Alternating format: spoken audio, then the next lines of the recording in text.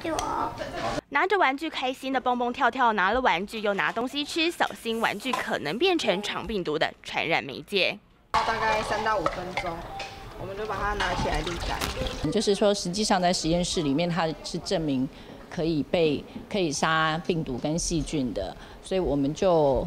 直接装了他们的生成器，就还蛮大量的使用，因为是希望说小朋友在呃操作的过程当中，他们所接触的所有的东西都是被清洁过的，不要互相感染。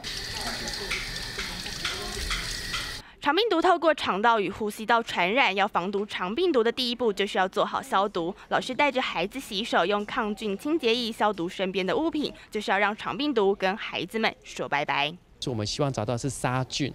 我们不要找到是抑制细菌，这部分要特别去注意。所以，我们通常要找的就是说，这个小朋友他能不能去接受，或能不能去触碰到这样子的一个产品。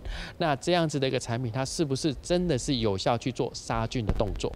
医生说的要注意听，因为现在除了肠病毒，在高雄也出现第一例本土登革热案例。居家环境消毒和整洁，千万母汤掉以轻心。记者陈时炼、梁万瑜台北采访报道。